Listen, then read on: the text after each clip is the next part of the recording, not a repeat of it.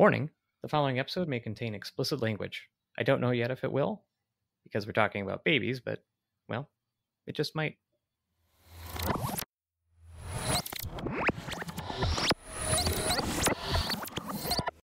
The year is 1900, and Martin A. Couney is entered into office of a local inventor to pitch his new idea.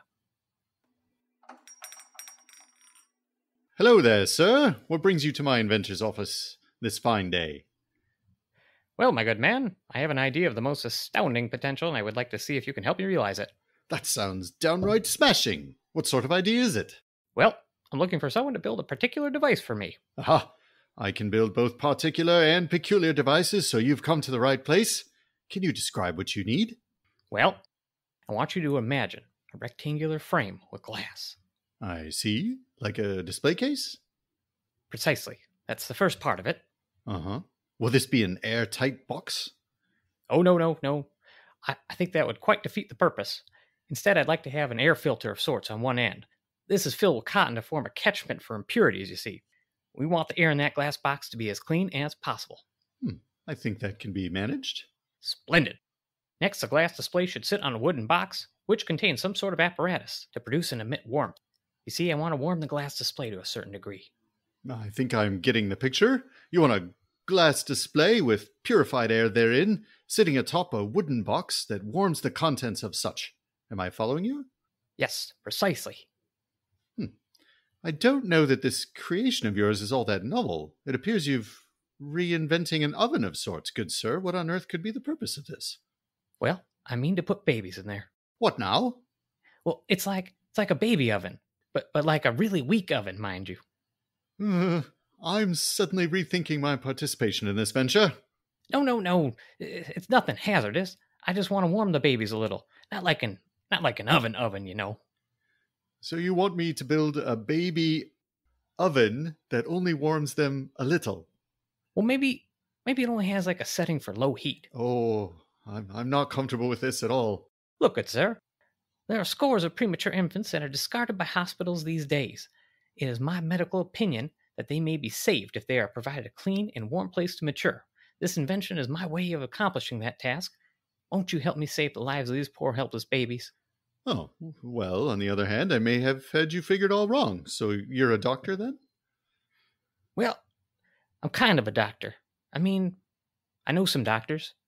There was this one doctor in France I hung out with a bit. Ah, so you're not really a doctor then? I am doctor adjacent. Very well, then. Since business has been slow, I shall agree to help you. I would recommend we develop a steam heating system for this device that would be much safer for the infant in the warming chamber. You mean the baby oven? I would definitely not call it that. No? Um, uh, baby heating chamber. Mm, still a bit odd. Baby sauna. Absolutely not. Baby incubator. That sounds a bit cold and scientific, but I think it'll work better than your alternatives. Where exactly are you going to use this? And uh, are you and the missus expecting? Oh, no, no, no, nothing like that. I have plans to build dozens of these and use them as a sideshow display at fairgrounds around the country. Oh, wow. Come and look at the amazing baby incubators. I can see it now. 10 cent admission fee. This still seems very ethically troubling to some degree. Actually, given the present year, this is literally going to be one of the most ethically sound displays at any given fairgrounds. Well, that's terrifying. Yes, yes, it is. Baby ovens. Nope, nope. Incubator. Boring. I, I like that I wrote baby oven. It's genius. One of those phrases that I'm just proud of. All right. Also a good band name. Cases draw history. It's just Max and there Mac and me. You gotta listen, you don't have to read.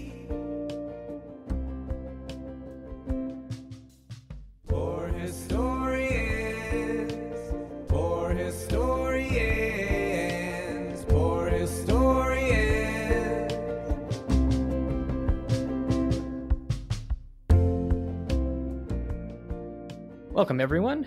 This is Poor Historians, a podcast delving into the archives of medical history.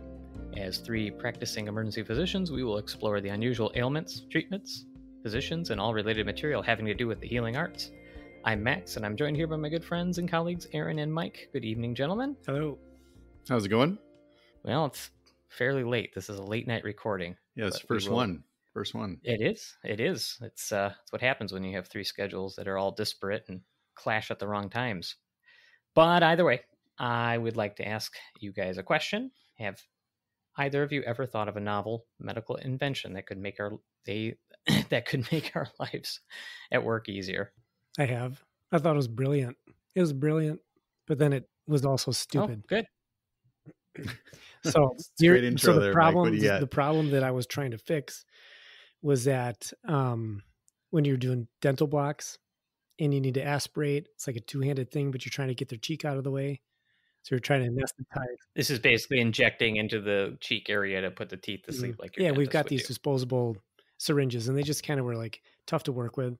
So my thought was to make this plastic molded thing that you could click onto the syringe that had a ring on it that you could put your thumb through, and then easily one-handedly aspirate and then inject anesthesia. control Mhm. syringe. But there, I mean, Mhm. there wasn't anything like that, and then I just stopped thinking about it. I just stopped doing dental blocks. You should have developed that. now, what about you, Aaron? Well, I have the jokey one, which I always sort of say we should have a, a blow dart apparatus with a sedative in it for certain patients, so we don't have to get that close. Pretty sure blow darts have been around for a while, but I like Yeah, where you're going. but you could do that. And then I actually thought up a technique for a procedure, but I never sort of YouTubed how I could do it. So I had a difficult patient. I, you have there's a floppy red tube, and I was trying to put that floppy red tube into the esophagus of the patient because they were bleeding. I was like, you know what? I could just put a second. I could put a second breathing tube in their esophagus on purpose, and put the put the floppy red tube into the rigid red tube, and put it in the esophagus. And I thought it was genius, and I was going to make a YouTube video and say, hey, this is how you could do this. Um, and I won't go into all the minutia because it, it's technical, but yeah, I never filmed it, and it was more of a technique than a invention.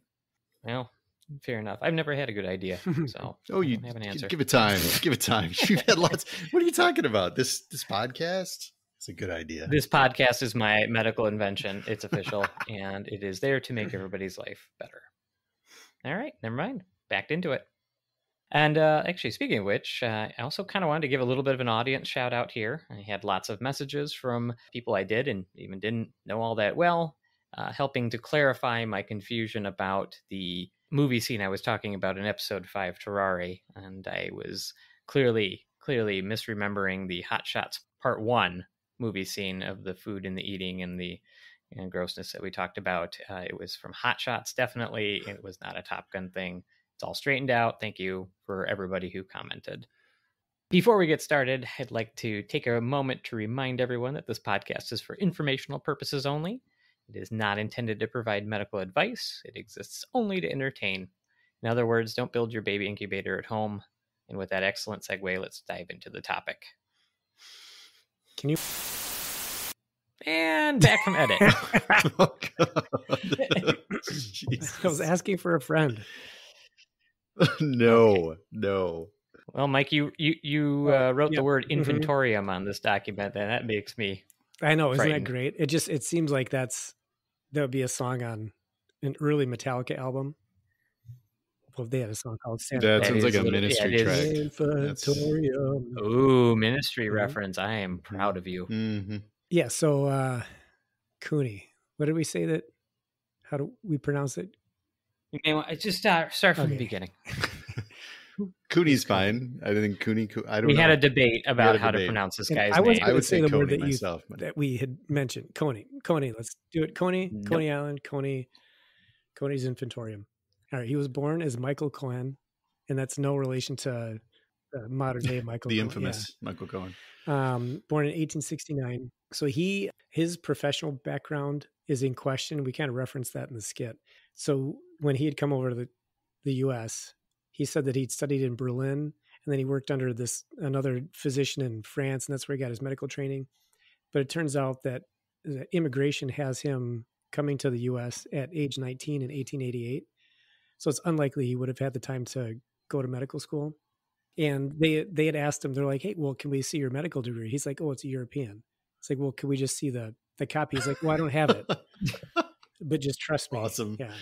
It's like when you were in early teen years and you Yep. you go off to like a summer camp and you're like, oh, I totally have a girlfriend now, but you can't see her. She's in Canada. She's She's Canadian. European. I- I meant a Canadian girl. Yeah, exactly, exactly. It's- I- I, have, I have a degree, trust me, but it's it's written in European. It's Mhm. it's difficult to read. Sadly, that is the exact same reference I thought of when he said that. so, like, we must have both used that Mhm. story. Hey, man, adolescence is tough. You get through however you can. Well, just think about it. Coming to the new world, it's like I'm going to start fresh. Might as well Yeah, AI. totally. Yeah. So he comes over. He said he's like 19. He immigrates here in 18. Well, nobody knew how old he was, really. I mean, immigration did, but Ah. nobody really knew anything about him. They didn't really know. He's he's like, yeah, I grew up in Poland, and then here's the story, but none of the story ever ever checked out. That actually came up later in some of the uh, people's problems that they had with him. So there were reports that he studied under Dr. Pierre Constant Budin um, in Paris. He- Nailed it. Right? Yeah. Apparently, he was so he's thought of as the modern or the founder of modern perinatal medicine. Um, not a lot of people were doing the work that he was doing, and Europe really was way ahead of the U.S. at the time. So he he had come here because so incubators in Europe were being kind of widely used. Um, they're seeing a lot of benefits to using these with premature infants. In the U.S., people were not doing that at all. And it was kind of it was an unusual time. There was the um, like the eugenics movement. There was a lot of weird stuff happening. A lot of reasons as to why they wouldn't recommend this. So you know he had kind of pitched his ideas to hospitals. Hospitals weren't interested in it, so he ended up making this traveling exhibit where he put, I guess he called it the child hatchery. So they trialed it in Berlin. it was like, wow, this is a smashing success. People are paying good money to come look at tiny babies. And then, so he, Well, look, look, it, you know, it, late 19th century, there's just not much to do. You're like, you know, I don't even know, really don't have much for movies. They can take a photograph and like stare at the still picture or you know, watch babies exist. I mean, Mhm. slim pickings, but you take Yeah. what you can get. yeah, so When have you not been happy after you've seen a, a baby? I don't know. I mean, I, I love when people Um, bring all in their, the time. It really depends on your disposition towards children, but yeah, I get you. No, okay, fair. That's fair. I, I forgot we have we have, but you know, I love when the parents bring in their kid who you walk in and the kid's totally fine, and you know they're fine, and you're not worried about them at all. And all you have to do is like do a, a cute little exam and like hold their little baby hand, you know, and like make them laugh. And, and and you're like, yeah, this baby's perfect and beautiful and adorable. And that's my favorite, one of my favorite patients. So yeah, I could, I would go to this exhibit, but I, I like babies. Do you ever call babies breathtaking and then just kind of think it's actually hilarious? No, You know what I'm referencing? No. Seinfeld. So there was a I don't. Yeah, I so don't- there's an oh, God, episode I where- watched them all, and I don't remember that one. yeah. Terrible. So um, uh, what's the name of the woman character? What the heck? Elaine. Elaine. I was thinking Eileen. I knew this was wrong. Elaine, So yes. Elaine, she starts dating a pediatrician, and like for some reason, like he's he met with or like was examining one of his friend's kids, and he just goes, "Oh, this baby is breathtaking," and then um, she was like, "That is the ugliest baby I've ever seen." And then later in the episode, he calls her breathtaking, and she's like, "He thinks I'm ugly." So then she broke up with him because she thought that he was ugly. Or That's a good Seinfeld reason. Yep. That. so that anytime I see these kids, I'll, well, I'll occasionally say, "Your baby's breathtaking," and then just like crack up inside. laugh inside. And is that mean? That's not mean, right? I mean, it's good fun. no, it's, it's like, not. It's, no, it's and no- not. nobody knows Seinfeld anymore. it's not you mean. guys. It's just it's just a weird Yeah, sentence. your baby is breath. Actually, I don't think I've ever said that, but I've thought it. But I have called Got it. people's babies cute. so all right so the the controversy with this guy was that the medical community in the US at least just didn't believe that incubators were scientific. There weren't enough studies they didn't think. They thought you know the science in this is bad so we're not going to do it. This is the same medical community that didn't want to wash their hands and all these things down the road. Mhm. so he actually he was one that was really pushing he wasn't pushing germ theory so much as he was pushing like really good antiseptic techniques he made the nurses that worked with the babies wash their hands every time they touched them and so, Hmm. right It's novel. so yeah they, they wouldn't take him up in hospitals and this traveling sideshow kind of gained traction he was making a lot of money doing this so he's like you know what i'm gonna make i'm gonna bring it all across the country and then he ended up having two um, long-term exhibits one was in Chicago, and the other one was at Coney Island. I think that one lasted Hmm. for 40 years, 39 years, That is insanely right? long amount of time. Yeah, so he so he builds this infantorium, he called it, on Coney Island. Um, so these incubators that were kind of described in the skit, they made them about five feet tall. Um, they had steel walls. There's a glass front so you could look at the tiny babies. Um, and then boilers fed warm water under the incubators, and they had a thermostat so they could dial in the temperature that they wanted. I feel like that shouldn't go up very high. Do you think they Googled like We're gonna put a boiler. We're gonna put a pressurized tank under the mm, baby what? display case. Gentle warming. And I wonder about the thermostats in the 1900s. Maybe they worked. I don't know. I don't know how they could work. Oh, I'm sure Yeah. they're solid. They probably sure. still work. Yeah. filled with mercury. And Yeah, Mhm. flawless.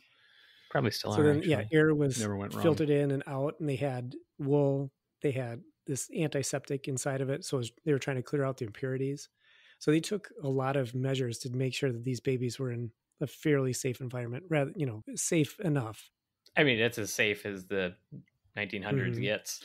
You know, it is interesting. Like, I, uh, my house was built in what 1896, so I have people come in and do stuff all the time, and they're like, you know, they used to build stuff so simply that it was essentially bulletproof. Like when my house was first built, basically they just built vents and there was a coal burner in the basement, and that's how you got heat. But they're like, that's never going to break. You basically they just built channels for the warm air. Yeah. and you have coal, and like so, yeah, it was simple, like primitive, but it would never break.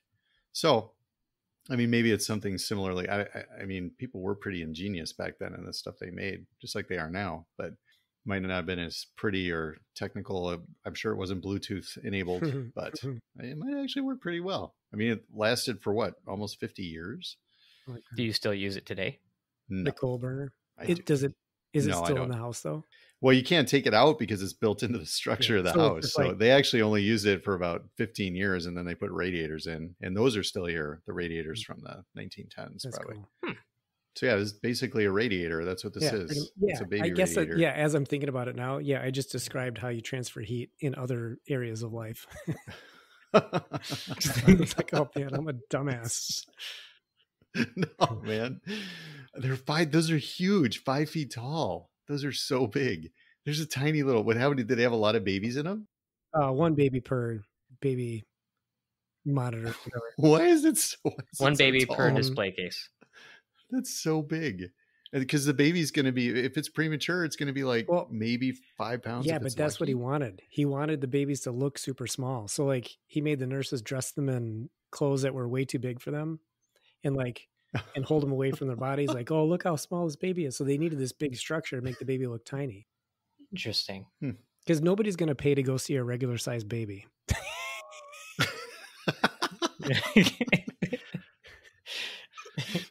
You can see that one guy that true. like goes to all the things. He goes to all the baby displays and he's got his tape measure. He's like, oh, this baby's regular size. See? he like asks for his money back. I want a Mhm. refund. I want a refund. You said it was a tiny baby. That's a toddler. Give my money back. they just shave his head. All right. Couney's slogan was "All the world loves a baby." Um, so yeah, so his exhibit ran from 1903 when he first built it, the Infantorium on Coney Island, to 1943. He had a full staff, so he employed uh, full-time nurses that lived at the expo. And again, the structure, if you can kind of imagine, I initially was thinking it was a tent, but they had some pictures of it, and it looks like uh, it's it's a fairly big structure, and you would just go in and like it was just an open kind of gallery where all these baby things were. And the, the building on the outside, it kind of looked like you ever been to Ripley's Believe It or Not in Florida? Just this weird, No, stru- I've it's just like a weird think. looking building. It looked like that, but that's, you know, it was like probably some of the mystery. There's a building that's built to look like it's upside down in Wisconsin Dells. Really? There's like it's like a mystery. Yeah, it's all. um But that's not House on the Yeah, Rock, is it it? looks looks like it, no. Although I've heard, I haven't been there, but the kids think that place is hilarious. These nurses live on site full time. And apparently the cost, I guess, for adjusted money is $405 just for that's your entire care. Uh, but then it To care The for infant. the infant Yep. the whole the time it's there. That is actually super. so super yeah, cheap. 15 bucks back then. He didn't charge the parents. And I- I don't know, I think he would have gotten into a little a a grayer ethical area if he was charging the parents to borrow their babies to charge money.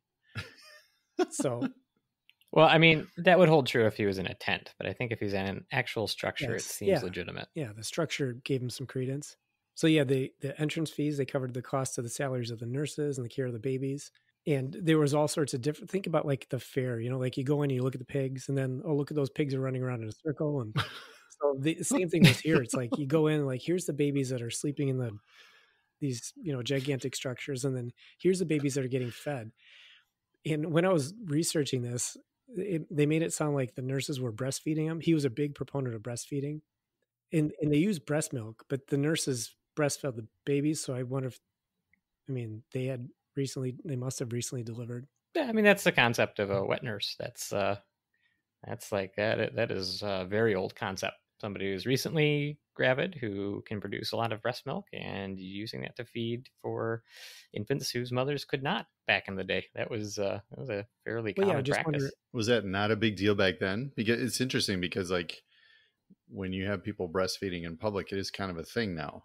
Like some Oh, yeah, people are no. thrown off by it and such, and it, they shouldn't be, right? I mean, it's just you know, it's that's what they're for. I know that back then that was that was almost like a um, it was like almost a specialty, if you Well, will. just just Yeah. imagine somebody breastfeeding someone else's baby, though. Would that be weird? oh, right, right. Well, back then though, culturally, uh, there was literally there was a there was a term for it. yes, wet nurse. Yeah, they didn't exactly have like you can just go pick up But formula. how you did we find these people then? I would think it could be a future episode, but I also think we should never do that episode.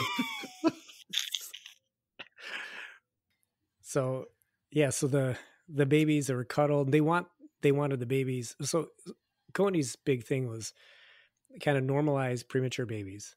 You know, like don't be afraid of them. uh, Mhm, Although mhm. he was making them kind of a Mhm. sideshow. So he was like, you wanna you wanna cuddle these babies, you wanna treat these babies as if you would treat any other baby. well, this was a time, as I think either you said before, or I saw kind of looking at this as well, that like hospitals just did not take care of premature infants. Yeah, they didn't. They refused. And that's mm. why Did they just what they do with them? They just let them die. Yep.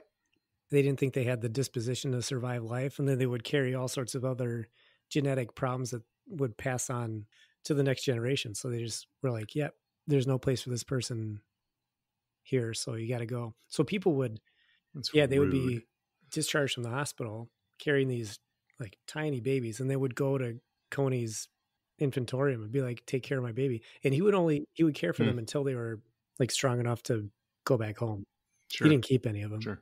as far as i know I mean, it's the warehouse problem Good. at that right. point. Where are we going to put all these So, babies? Too many babies. As they were getting these babies prepared for viewing, this just sounds weird. So he would bathe them in lukewarm water every day. I don't know. That's probably a good idea. I mean, reasonable. And then, yeah, so they were given a dose of brandy as well. Is that just to make sure that they were all chill for when the people came to look at them? I don't know. I saw it in the Sure. article. It was like if they were capable, were given a small dose of brandy. I mean, was it Which baby is capable of you having need the brandy? mature babies? Yeah, I mean the baby with the the baby that's already o'clock holding a shadow. cigar. The baby. Blink two times if you want a small dose of brandy. I mean, that's still a that's a time honored teething remedy and a sleeping remedy. I was told at some points, you know, if you just you know if you just rub a little bit of whiskey on their gums, you know, the night will go more easily. So Yeah, I mean, I Uh, think we've all yeah, that- heard that. Some of us may have been given whiskey when we were coughing our heads off as children too. yep, yep. I wonder if that's just because that's the drink that was out at the time because you wouldn't shut up and they're, your parents are trying to sleep and they're just hammering the bottle. Like, here, just take some of this. It works for me. Go to bed. Oh no, this was a this this was a I come from a partly and very much Irish family, and that was that was uh without exaggeration, Grandpa's cough re- cough Mm. syrup and remedy was uh was essentially what was a tiny hot Mm. toddy. Makes sense. I still remember that. His, I guess, his food of choice was breast milk, straight from the breast. So they, I- there's some, I guess, description of using bottles, but some infants were given breast milk that was spooned through the nose. Why? I read that and I was like, Why this would they- I think it's very reasonable to breastfeed your baby through its nose. So Couney, he didn't want wet nurses to smoke, eat red meat, or drink alcohol.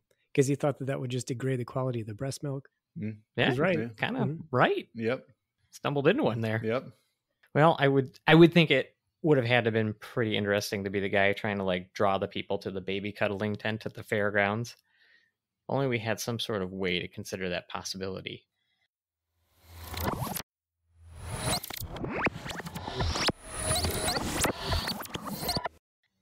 On the boardwalk of Coney Island circa 1905, Couney's Infantorium display is up and running. A carnival barker is out front trying to encourage ticket sales to curious fairgoers. Step right up, step right up, come one, come all to see the famous babies of the Coney Island Infantorium. Say there, sir, did you say infantorium? I sure did, good man. For the measly price of 10 cents, you and yours can experience the thrills of this world famous Infantorium. Well, what's an infantorium exactly? For the price of admission, you will pass through this curtain into the new world of modern medicine. Herein lies a life saving display. Premature infants cozied up in pristine glass incubators for your viewing. Did you just say incubators for babies? What? You mean like baby ovens? No, no, no, no, no, no, no. They're they're not ovens. They're incubators. You see, they keep the babies warm until they mature. You're familiar with chickens, are you not, good sir? I sure am. Well, imagine that instead of warming chicken eggs to hatch, we have many babies in incubators of their own, keeping them safe and secure and cozy until. Are you trying to tell me that you have a human hatchery in there? Where do you get the eggs? Uh, no, that, that, that's not how humans work. We don't hatch from eggs. Why aren't these babies in a hospital? This seems rather garish. Well, ma'am, we're here because hospitals haven't quite caught on to the idea of saving these little ones. In fact, we tried to sell our invention to all the hospitals of renown only to be met with scorn and derision. Can you imagine? How cruel that seems. How long does it take for them to hatch? No, sir, we don't hatch babies from eggs. That's not where babies come from. I was using the chicken incubator as an example. If there's no baby eggs, then what do I get for my 10 cent entry fee? I just look at the babies? Well, sort of. I'd, I'd rather think of it as marveling at the efforts our nurses have gone to to help nurture these little ones to health. You can see how we wash and feed these helpless babies. We take every effort to ensure they are clean and free of the ravages of disease. I dare say that your entry fee also goes to pay for their care, so you'll be doing a good deed by paying for your admission. Well, that guy at the tent over there says I can win a goldfish if I land a ring on the ring toss board. How do I go about winning me one of those babies? Uh, I think you're you really missed the point Oh, of this. Oh, hush, Bobby. You know we're not here to win any more children to take care of. Mr. Carnival Barker, sir, while I appreciate what it is you're trying to do here, I think it just seems a little exploitative to me. Aren't you profiting off the misfortune of these little ones and putting them on sort of dehumanizing display? Isn't there some other sort of way to provide care for them? Well, it's 1905, so no, this is actually the best we can do. Hell, the World's Fair literally has displays of South Pacific Islanders as if they're a racist zoo exhibit. So this here Infantorium is by comparison way less problematic, as I'm sure you'll agree. Once you step right in. I don't think I could see fit to take part in this. Let's go elsewhere, Bobby. Aw, hun, I kinda wanna see the baby. Come along now. You never let me do what I want. What if they got two-headed baby in there or a bearded baby? I would pay 10 cents to see No, that. we're leaving. I'll put a beard on the baby for 20 cents. Really? What about a two-headed baby? Um, no. Oh,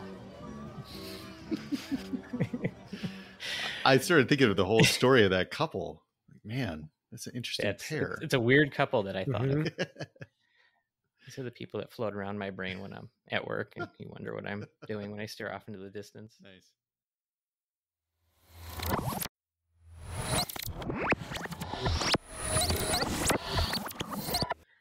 Welcome back. I, for one, am sure that bit was accurate in every way. Where did we leave off? Baby sideshow ethics. Yeah, so the medical community and child protection groups and everybody seemed to have a problem with Couney, except for the people and the parents of the children that he was helping. Um, so they were saying that he was using the infants for monetary gain, and he did charge an entrance fee for people to see these babies, but he also provided health care to them for free. Uh, I mean, you know that that kind of covered the cost of the care of these babies, and nobody else wanted to do it at the time. Nobody else thought that you should do it at the time. So he argued, you know, this is the last chance the babies are going to get. He's kind of like, if he doesn't take care of them, nobody will. So as we kind of touched on before, the hospitals would release premature babies just because they said, you know, there's very little chance that this baby's going to survive. So, you know, we're not going to have them take up a hospital bed. You just go and have your baby die at home or do fine. You know, it's just kind of left to nature. I wonder what the I don't know if you came across this. I didn't see it, but I wonder what the youngest baby had. I think was the well, the small. I think it was to I- survive. I, I, think should it was say. 28 weeks, and I think it was less than two pounds. But I could be wrong. I might have been looking at like well, pretty I might have been looking at like modern day survive. I looked at a couple articles that talked about premature. Now it's funny because this actually exists up until like 1995. There were still articles that were suggesting that like premature infants probably shouldn't get the care that they get because the likelihood of survival Hmm. is so low. We talk about futility in medicine. Hmm. You know, hmm. like it's futile to take care of these patients, so you probably shouldn't. I mean, you just think about that viability. That it just I feel like that the gestational age goes There's a certain age lower where and it's like it's it's feasible, and then yeah, Yeah, but even feasible. I mean, I, you know, it's kind of like CPR, right? We don't talk about the actual success rate. I mean, I think viability is down to what 21 weeks, but the, the odds are not in your Well, favor yeah, at that age yeah. that you're going to be But on the flip side, if you get CPR in the show Baywatch, it is always successful. true, because of the breastfeeding part. accurate. Mm-hmm. 95, 110 percent mm-hmm. success rate. Always cough up the water. Yep. Always water. Yep, always. Okay, so copycat operations. Yeah, so th- yeah, a bunch popped up because everybody's like, this Couney guy, he's making a killing showing people babies. So like all these different, you know, expositions popped up, and and none of them had the standards that Couney had. So, you know, the the conditions weren't great. That's when people started to really have a problem with it. Was because of all the other people that were doing this. You know, they started running articles in the medical literature kind of trying to damage his reputation. That's probably where a lot of the story of like the question of whether or not he was a physician had come up was probably around this time, like trying to get him to disappear. But so 1933, he sets up. So there's a World's Fair. Everybody loves a World's Fair back then. So sets that up in Chicago, ran it for two years, and then they didn't say what hospital, but a major hospital in Chicago then saw this, and the medical guy at this hospital was talking with Couney, and they're like, you know what, we're gonna we're gonna bring these into the hospital. We're gonna actually try this. Um, so Chicago was kind of the Hmm. epicenter of perinatology or neonatology. Yeah. So each time he tried to close one of these expositions, he took the incubators to the hospitals. It was like, I'm just going to give you these. You could take them. I'll show you how to use them. And he was always met with no, except for in Chicago, Hmm. and then later in New York. Uh, but yeah, the, like the dark turn of this story is really that that eugenics movement was kind of like a dark cloud that kind of hung over all of this.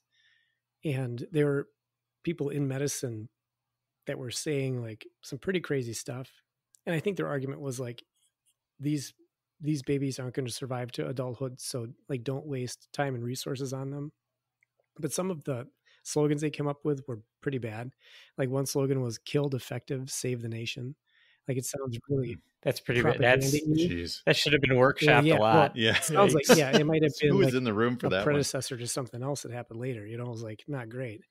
Um, so they referred to preemies as weaklings, and then there was this anonymous author that was attacking Couney that said that you know he was actually worried that premature infants would survive and transmit their deficiencies, deformities, and vices to the next generation. And really, before Couney, Oof. preemies were just kind of like you know let nature take over. If you survive, great. If you don't, great. This is definitely not the purview of this podcast, but I had uh, recently read something about Charles Lindbergh in the like infam- the infamous uh, Lindbergh baby, and one of the major theories was because he was a big eugenicist, Hmm. and turns out not a not a very good It was a American hero, premature- if you Yeah. will. But right. He's got a dark Oof. side. Well, no, he had a child that uh, um, reportedly had a bunch of health defects, and uh, and so and this was the kid that was kidnapped, so to speak, and eventually found dead. And uh, a fair amount of the story centers on whether or not he actually, because he was such a strong believer in eugenics, orchestrated the whole thing because he didn't didn't want this to be part of his bloodline which I don't I don't know if that's true, but I mean, he was a pretty hard about as dark as this. He's a pretty yeah. hardcore Nazi too, wasn't he? So I don't know. if Yeah, I'd he was. He was him. definitely was. I don't know how he got to Nazis from Infantorium, but we got You know, here somehow. so, I, so I've mentioned this television show several yeah. times, but the Nick, it I mean, it takes place in this time, Mhm. and they do a big eugenics arc. It's like phrenology, you know. It's like where Mhm. where medicine goes. You think about all these alternate timelines. Like, what if one of these things actually stuck? You know, and now you're Yeah. like, God, the, everything looks so different. Yeah. That's the dark universe turn. yeah, that it's Earth six one. Yeah, it's sort of. I mean, it was sort of misappropriated um, early understanding of genetics, and I. It's like one of those things that we could cover in an article, but I don't think there's a lot of humor in it. It's just awful. Kind of. The only thing I know about you have genetics really is like, like how to determine which pea is going to be yellow and which pea is going to be green. Or wrinkled, wrinkled or smooth. I don't even that's remember right. that. wrinkled smooth yellow Uh, green. How many? Yeah, so he he claims, and I I probably believe him, even though I don't believe anything else about him. Um, it seemed like he was a, a man of integrity. Did this for a specific reason. So he said that he, he had saved about sixty five hundred babies. His mortality rate was fifteen percent, but prior to this, seventy five percent of all premature infants died. Hmm. So I mean, did I mean, Jeez. you think about all like the founders of medicine or whatever. Like this guy did more for one, like his specific field than a lot of other people did, just with this one little idea that nobody wanted to listen to. Um, yeah. So yeah, so the first facility in New York that would take care of premature infants, so had incubators in hospitals, opened up in 1939, and this was 36 years after he started his thing on Coney Island. So they they said they would they, they would care for these babies, but then the first like, I guess infantorium in a hospital. what do they call them? uh, the uh, oh, we talk, oh for Yeah. preemies, neonatal Well, ICU. yeah, something like it wasn't an ICU, but we'll just call it an infantorium for Mm. now. I'm going to refer to our neonatal intensive care unit as the infantorium from now on. Yes. So in 1943, this hospital opens up and they've got a unit that takes care of premature infants. We'll just leave it at that. And then uh, a couple months later, Couney just said, Well, my work here is done. This is what I wanted to have happen. So then he closed his infantorium that year and then died penniless. It didn't say anything about what he end of- spent his money on. If he ever made money, maybe he never made money on this. It's the end of all 19th century dramas. Died penniless. Oh, Oh, like Tesla, Tesla, like, oh, Yeah. this brilliant Yeah, mind. Tesla was the first thing I thought of too. And that, that picture up, you could probably see that picture of him. He's like, got these sallow cheeks, skin and bones, just kind of staring off into space, like this brilliant mind that just dies in some hotel. It's gross. It's bad. Well, that's I, I do think that there like the first thought I had was there's something painfully real about the guy who starts the baby sideshow with actual decent intentions and then later dies penniless. Mhm. I feel like he probably should have just leaned into the exploitation role a little bit more and he probably Mhm. would have been but rich. that's what makes the Yeah. story so beautiful. It's like, like you can look back now, like all these people thought you're a bad guy, you're doing the bad thing, but then you look back on him, like, wow, he actually did a really great thing, and he wasn't in it to enrich himself. He was in it because he wanted. He he proved it too. Like they opened up this, and maybe he was like, oh, nobody's gonna come want to see my babies. They'll just go to the hospital. But you know, he's like, this is what I wanted, so I'm done. Well, that is all we have for today. We do appreciate everyone listening, and if you'd like to send us a message or provide feedback, we can be reached through our website www.poorhistorianspod, all one word, .com. There you can find links to our social media sites. We take emails at poorhistorianspod at gmail.com, or if you're old fashioned, throw a brick through our window. Until next time, we are Aaron, Max, and Mike signing off and reminding you that modern medicine sure has come a long way, and we do appreciate that. And write us emails, we really do like it. We get shout outs. Who doesn't like shout outs? Wait, we do shout outs? Yeah, he did oh a yeah, shout out that's this right. time. Oh, that was great. You know what? I'll, I'd like to do a shout out too. Okay, go I'm for gonna give a shout out to D's nuts. Got him.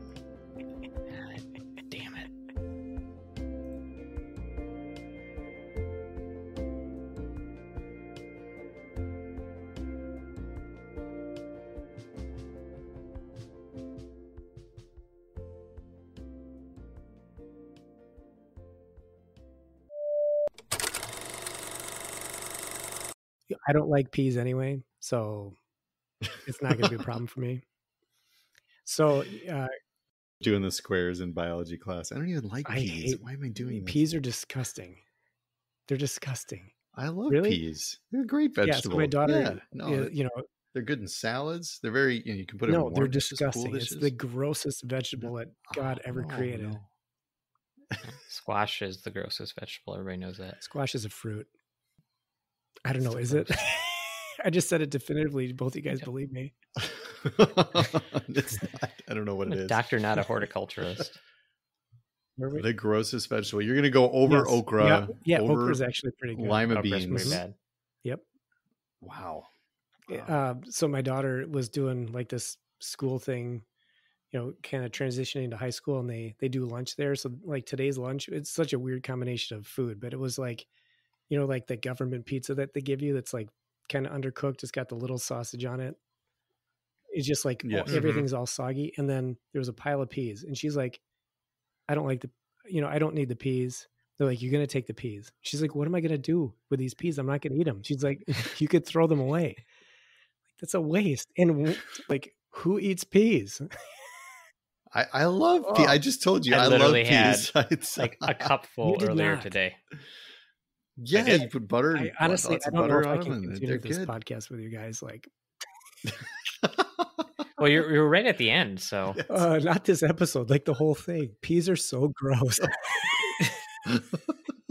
oh, just the way that they Aaron mush. peas. Yeah, they're like overcooked potato, like mini overcooked potatoes. With But only if you overcook them. If you don't overcook them, they're not overcooked. Yeah. Maybe you're just doing they're it like wrong. little bursts of What do you flavor. mean? Yeah, you're They're just doing it wrong. You have bad. Do you like cherry tomatoes?